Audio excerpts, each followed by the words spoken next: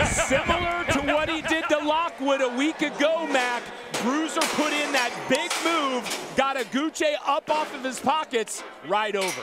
Craig, that is spot on, man. I Bruiser has really got this figured out. You can see Marco starts a great ride around to the left, away from his hand. He's in perfect shape, but watch when Bruiser starts to go back to the right right here. He's going to start coming back under himself, and he's got enough backup that he's wanting these guys, his feet behind him and their upper body over his shoulder. Not only is he a great athlete, but he's really smart too in Bruiser. Bruiser's score this week, 45 and three quarters. But Mac, you said it. At the beginning of that ride, I could see it from the look on your face.